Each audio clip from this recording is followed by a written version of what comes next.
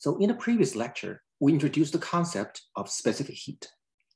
How does one measure the specific heat of an unknown material? Well, one common technique is called calorimetry. And what happens here is that we have a bunch of substances of given mass. They can start with different initial temperature. And when we mix them together, we put them in thermal contact, but we seal off these with the, from the environment, which means we do not allow anything to exchange energy with the environment. They start off at different temperature, but eventually through heat exchange, they reach the same final temperature, right? And then we can use the conservation of energy of the substance in, in the sealed system to find the uh, specific heat of its unknown material. In this illustration that you see here, suppose we have two substances, one and two, initially at higher temperature, and then two other substances, three and four, initially at a lower temperature. Now we mix them together, then clearly, um, due to heat exchange, objects one and two will give up heat, and object three and four will, re will receive heat. And the conservation of energy requires that the amount of heat given up by one and two will be equal to the amount of energy um, that's absorbed by three and four, right? And so how much energy is is um, how much total heat is um, absorbed. We call it Q cold because the cold substance will receive heat, okay? And how much heat is, um, is lost by the, uh, by the high temperature substance, that's, that's Q hot, okay? Now we define Q as the amount of heat received by the system. Okay, so when Q is positive, that means the system receives heat. When Q is negative, it loses heat. And since the hot sub substance actually give up or, or lose heat, Q is negative for the hot, hot, hot substance and positive for the cold substance. So they're not equal, Q cold and Q hot. Rather, they differ by a negative sign, right? Because Q, Q hot is negative, with a negative sign becomes positive. So when the cold substance, substance uh, uh, let's say they, they gain a total of uh, 10 calories from the hot substance, that means the hot substance will, lose 10 calories. And that's how the two sides are equal if you attach this negative sign. Okay, so that's the basic idea. Now, how much energy um, is, how much heat is released by uh, the cold substance? What is the, uh, by, by the hot substance, what is the actual expression? Well, we know Q equals to mass of the substance times specific heat times the temperature change uh, of T final minus T initial, right? T final minus T initial. Now, this is positive if T final is greater than T initial. When T final is greater than T initial, which means uh, it, uh, it's, it's a colder substance which absorbs heat, and it's negative if T final is less than T initial. Okay, that's when a hot substance, substance give up heat. Right? So you see Q can be positive negative, but when you attach a negative sign to the heat released, um, it becomes positive again. Okay, so in our case, uh, what we have here is objects, objects one and two giving up heat and object three and four receiving heat. So what is the amount of heat received by object number three? That will be mass of object three C3 uh, times the final temperature minus T3 initial, right? T final is greater than T3 initial. And then also what is the heat uh, absorbed by object number four? That'd be similarly M4, C4, T final minus T4 initial. You know the T4 initial may not necessarily be equal to T3 initial, but they must have the same final temperature. That's when thermal equilibrium has been reached. Okay, now what is that equal to? That equals the amount of heat um, given up by objects one and two. Okay, how much heat is given up by object one? Well, um, the, the amount of heat it receives would be would be M1, C1, T final minus T1 initial, right? But since the heat is lost, T final is less than T1 initial, this, this whole thing uh, on the right hand side is negative, so I have to attach negative sign to bring back to positive, right? Similarly, the amount of heat lost by object number two would be minus M2, C2, T final minus T2 initial, right? Now you notice that if I move both terms on the right-hand side, which carry a negative sign for each, to the left-hand side, then the negative signs would disappear, and every term will have T final minus T initial of that substance. Okay, so that's the same as uh, M C T final minus T uh, N initial. N is the uh, index, like in this case, one, two, three, and four. And this is the nth uh, substance in the mix. This is the specific heat of the nth substance. Um, if basically I have moved everything to the right-hand side, to the left-hand side, and if I add everything, in this case, n goes from one to four, and that would be equal to what? That would be equal to zero, right? Now, if you know everything else except the specific heat of one of these four substances, then you can find that, okay, by, from this equation. So that is how we do calorimetry. Okay? With example of four substances, you can have any number that you want. I'm assuming at this point that there is no phase change. Okay, there is no latent heat involved. The only heat exchange is, is being used to increase or decrease the temperature of the substance. Okay, again, the principle is the conservation of energy because there's no heat, there's no energy lost um, to the environment or nor does it gain any extra energy from the environment. Uh, heat is only being exchanged in between different parts of the same system. That's why I have this conservation of energy within the system. Now let's look at a actual example. Um, here is a typical setup of a calor calorimeter. Uh, remember, we, we need a sealed system. We need to we need a well-insulated system. Otherwise, the thing can exchange energy with the environment, and then you don't have this conservation of energy anymore. So here we have a styrofoam cup, okay? Styrofoam cup to, to minimize the energy lost or energy exchange with the environment. Then I have um, some water inside, right? And I have a thermometer to monitor the temperature variation. And I have a stirrer whose function is to, is to equalize the temperature throughout the, uh, the, the water inside. Now, let's say we know the amount of water uh, that you have, initial temperature. And then let's say I have uh, you know, a metal block whose, whose um, um, specific heat value I wish to measure. Okay, how would I do that? Well, I can take that block of block of metal, right? I can drop it, you know, I drop it in there, okay? So let me, um, let me drop it in there, okay? So this block,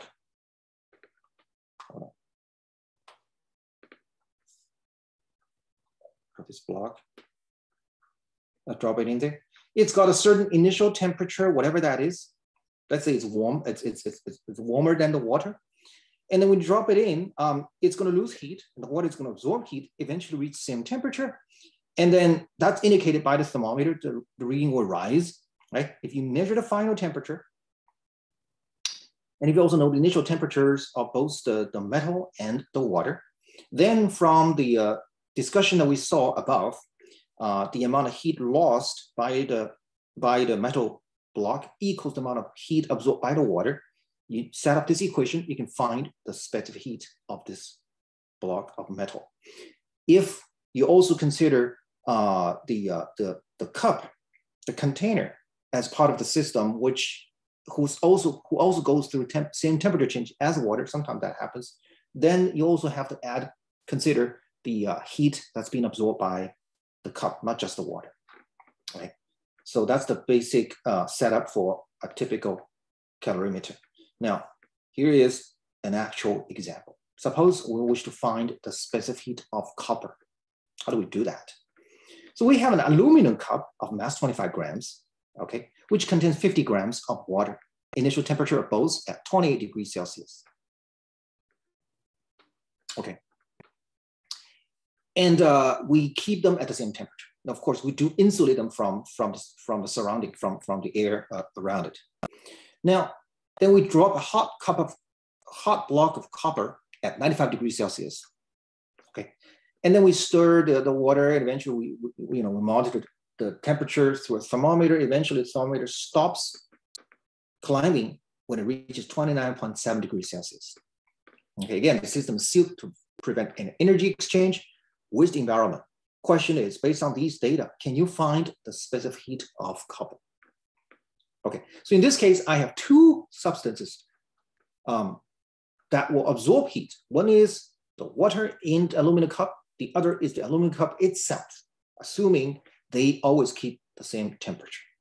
Okay, and then we have one substance that loses heat, and that is the copper block, of course. So how much heat is being is being um, absorbed by the aluminum cup? Well, let's see here. The aluminum cup, again, we start with aluminum cup. And its uh, mass is M1, this we call it M1. Okay, and it's got a specific heat of C aluminum, which we, we know, because we, there is one thing we don't know, which is the uh, uh, specific heat of copper, okay? And the temperature change for the aluminum cup is uh, T final minus T initial. Okay, T initial for the cup, right? So we call T uh, one initial, one standing for aluminum. Right. Is this whole expression positive or negative? Well, T final is higher than T1 initial because the aluminum cup received heat. So this is the positive term, right? And then don't forget the water in the cup also absorbs heat. So that is the mass of the water, we call it M2. And C water, which we know, of course, and the temperature change of water, that's the same amount as the temperature change of the aluminum cup. The T final minus T2 initial. Okay, T2 is the same, T2 initial is the same as T1 initial.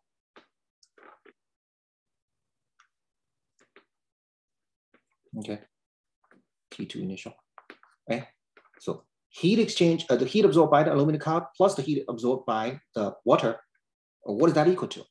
That equals the heat lost by the copper block, and that is negative times the mass of the copper block, M3, C copper, which we wish to find out, and then T final minus T3 initial, which is the initial temperature of copper. Okay, now you don't, if you don't want that negative sign, you don't want that negative sign here, what you can do is you can move the whole, this entire term on the right-hand side equation to the left-hand side, then you end up with every term uh, being the same is always C times the mass times T final minus T initial, just like what you see here, okay? Always T final ahead of T initial. Or alternatively, I can get rid of this negative sign by uh, writing the, the, the, the two temperatures in the parentheses as T3 initial minus T final, because after all, T3 initial is higher than T final, right? And uh, then you don't have a negative sign either way. All right, now we have some numbers here. Uh, M1 equals to 25.0 grams, right? And C aluminum, that's, that is known, and that is 0.215 calorie per gram per Celsius degree. I mean, you can also use joules if you want to, but um, here we use calories. Okay, and then T final equals to what? 29.7 degrees Celsius. Okay, T1 initial, initial temperature of the aluminum cup, and that is 28 degrees, right? 28.0 degrees. And then M2, that is the mass of the water, and that is uh, 50 grams, 50.0 grams. Okay, and uh, the final temperature of the water is the same as that of the aluminum cup, and T2 initial is the same as that of T1 initial, that's over 20 degrees Kelvin, I mean 20 degrees Celsius. And uh, M3, that is the mass of the block of copper, and that equals to how much is that equal to? Uh, it is not given in this text here, so I have to tell you what that is, okay? It's 16 grams, okay? I have to write it down here, 16 grams. Otherwise, you cannot solve the problem, okay? And, and then T3 initial, that is the initial temperature of the of the copper block, and that's 95 degrees Celsius. Okay, you plug all these numbers in, now you know everything. The only thing you do not know is C of copper, and you can easily solve it, right? So you plug in, you plug in numbers, you say uh, 25 times 0.215 times T final, which is 95, minus T1 initial, which is 28.0. Okay.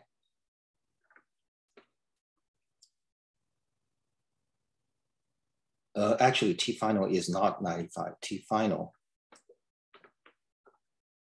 is not 29.7, 29.7 minus 28.0, right? And that's the term for the aluminum. And then you have the term for the, for the heat absorbed by the water, which is 50 times, what is, what is the specific heat of water? It's one calorie per gram per degree Celsius. So it's one here. And then um, same temperature change, 29.7 minus 28.0. And right, what is that equal to? Right inside, uh, negative mass of the block, 16, right? C copper, which is the only unknown wish to find, 95 minus initial, actually T final minus T initial. Uh, so it's T, T final, which is 27.9, 29.7 minus 95, okay? And then you can go ahead and solve for the specific heat of copper. So if you do the numbers correctly, you find the answer to be 0.0923. Actually, to two sig figures, 0.092. Or to three sig figures, 0.0923. Calories per gram per Celsius degree. That is the answer.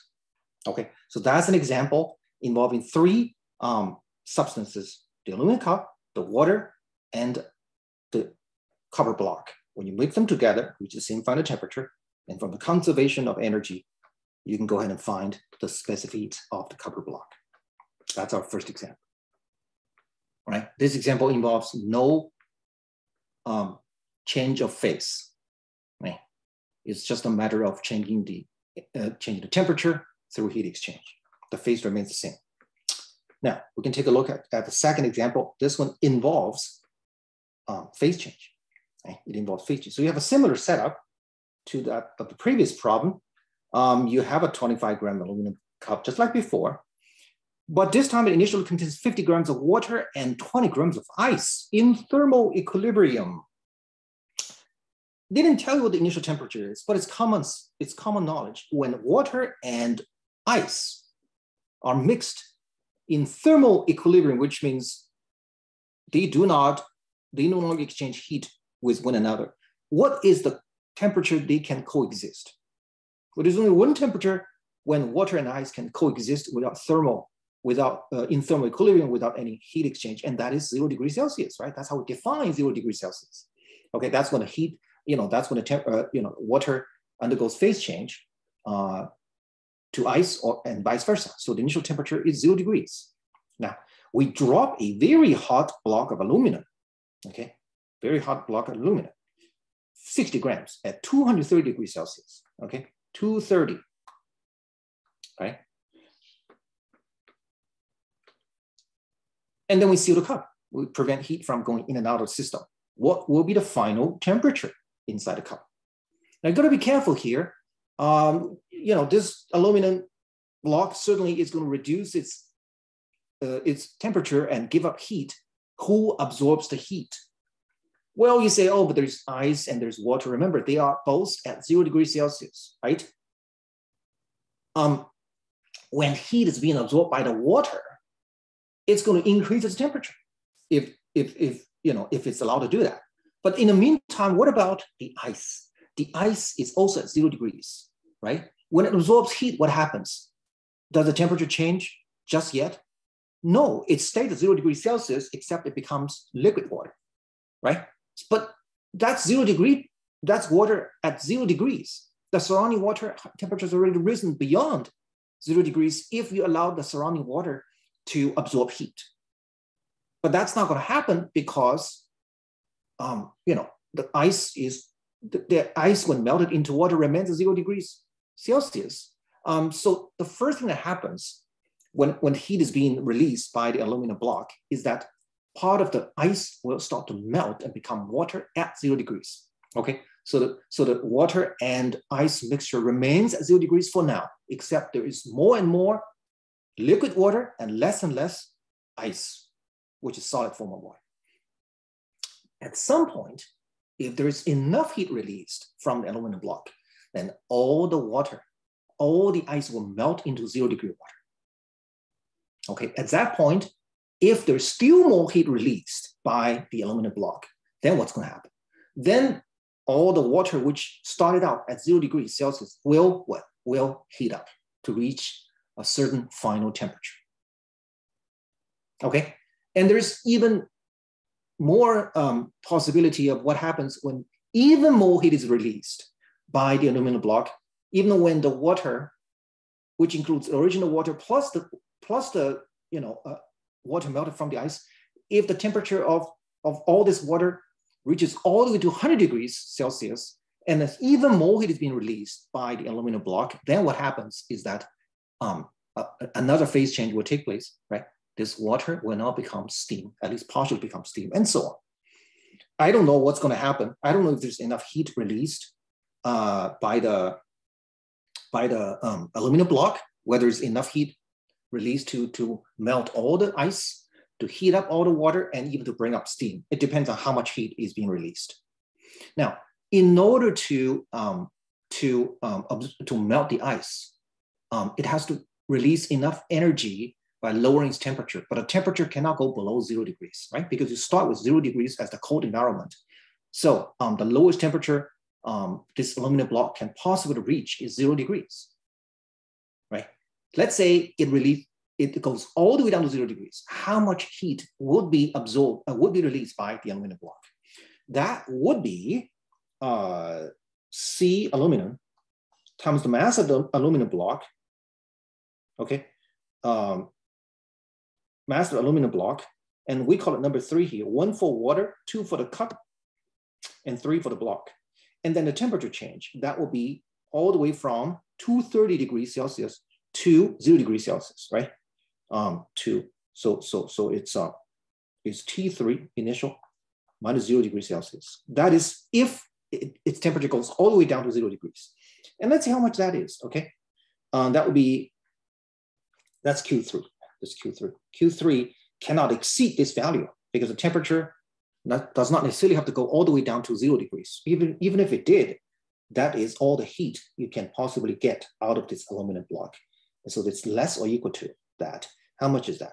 Well, point uh, 125, 0.215, assuming all the data are known except for the final temperature. So we have to be given the specific heat of aluminum, um, calories per gram per Celsius degree times its mass, which is, which is, uh, how much mass is it? 50, 60 grams, uh, 60 grams, okay, 60 grams. Time to temperature change, which is 230 minus zero, right? Celsius degrees, okay? And if you did all this calculation, um, you will get a certain number. Let's see what that number equals to.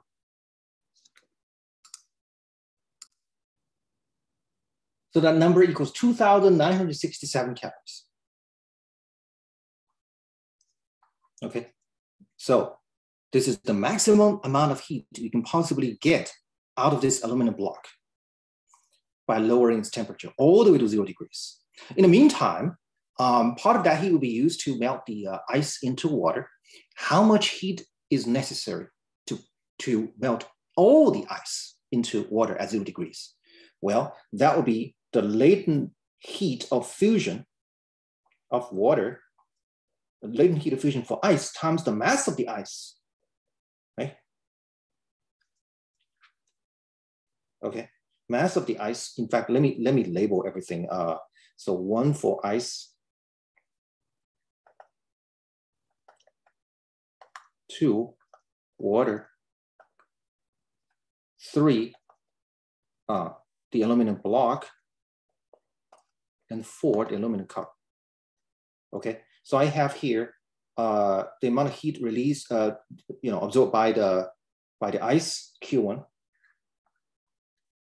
to, to melt everything, L, LFM1, there's no temperature change, it's remains zero degrees. Uh, the latent heat of fusion is 79.7 calories per gram for ice. And then times the mass, which is 20 grams. Okay, and that is 1,594 calories. You notice this is less than Q3, less than Q3 maximum. Maximum value Q3 is 2,967 calories. So, um, you know, by going all the way down to zero degrees Celsius, the block can release this much calories, this many calories, 2,967, but you only need 1,594 calories to melt all the ice into water. What does that mean? It means the ice, there is enough heat released by the block to melt all the ice. Okay, you're gonna end up with zero degrees ice and water. I mean, sorry, just zero degrees water, no ice anymore. Ice is all melted. But it doesn't stop here because there's still some heat left, okay, to bring up the temperature of the zero degree ice, uh, uh, zero degree water into a final temperature while the aluminum block and the aluminum cup will settle at the same final temperature. So we now, under, we now know that um, the final temperature is going to be above zero degrees, okay? Now let's assume that no steam has been produced, which means the final temperature is still under 100 degrees Celsius. Okay, what is the final temperature? Excuse me. Now, let's see. Heat absorbed equals the heat released. Heat is being absorbed by the ice, the water, and the cup. Okay, so for the ice, first of all, I have Q1, right? Q1. Plus, um, once the ice melts into water at zero degrees, don't forget you, you also have some water that's already there, right? 20 degree, uh, 20 grams of ice turned into water plus 50 grams of water that's already there, the total is 70 grams. So it is uh, mass of the ice M1 plus the mass of the water, which is M2, that's 70, degree, uh, 70 grams, times the specific water, because they're both water now, times its temperature change. It goes from T, uh, T initial, which is zero degrees, to final temperature, T final, whatever that is, minus zero degrees. So this, the second term, is the amount of heat uh, absorbed by the water, which includes the portion that's melted from the ice, from zero degrees to the final temperature. Okay, don't forget there's aluminum cup, which also absorbs heat. Its initial temperature zero degrees, the final temperature is T final. So we have C aluminum, right? And the mass is uh, M4 right, in our label. And then you have T final minus, again, zero degrees Celsius, T initial. All these three substances will absorb heat, but the only substance that loses heat is the uh, aluminum block. And how much heat does it does it does it release? Well, that is um, C aluminum, uh, C aluminum times the mass of the block, which is M3, right? Times, all right, you want to keep this positive here. You gotta, you got, you gotta take T, um, T3 initial minus T final because T3 initial is 230 degrees Celsius minus T final. That's a positive number. Okay. Now, what are we looking for? We're looking for T final. We know everything else. Okay. So Q1 is already known, and you know the mass. So, so this uh, the mass of everything. So let me let me put some numbers there. Put some numbers in there. Okay, so this M1 that is ice, and that is 20 grams. You get M2, which is 50 grams, 50 gram water. And uh, Q1, we already calculated above, and that's 1,400, 1494 calories, right? And then C aluminum, 0.215 calorie per gram per Celsius degree. Mass of the uh, mass of the aluminum cup, and that is 25 grams. Right? C aluminum same, 0.215 calorie per gram per Celsius degree. Mass of the block, which is 60 grams. So you know everything else except T final. Right? You can you can go ahead and solve for T final, and if you do so, you get T final equals to 16 degrees, to 216 degrees. Now you notice this is less than 100 degrees Celsius, right? We've assumed the T final to be less than 100 degrees Celsius because we did not count any heat needed to uh, turn water into steam, the latent heat of turning water into steam. And that comes at an assumption that is the final temperature has got to be under 100 degrees. Otherwise, you know, water is going to start turning into steam. And that's not happening here. So our self, our condition, uh, our assumption is correct. There is no heat. Uh, there is no heat of uh, vaporization here because no steam is being produced. If for whatever reason, uh, the final temperature according to this calculation is say 120 degrees, what does that tell you? It tells you our assumption is wrong because the final temperature is already higher than 100 degrees, which means heat, uh, which means um, the water at least has been partially turned into steam. So you have to add another term um, on the left-hand side, which is the heat needed to transform part of the water into steam. Okay, but it's not happening here. So that's, that's an example of calorimetry in, involving phase change or latent heat. You must make a certain assumption uh, you know, whether certain heat, uh, you know, certain phase change has taken place. And of course, that happens only when the temperature is either uh, lower than that of freezing point or higher than of that of, um, um, you know, um, uh, when, when the water turns into steam. So you have to be self-consistent, okay?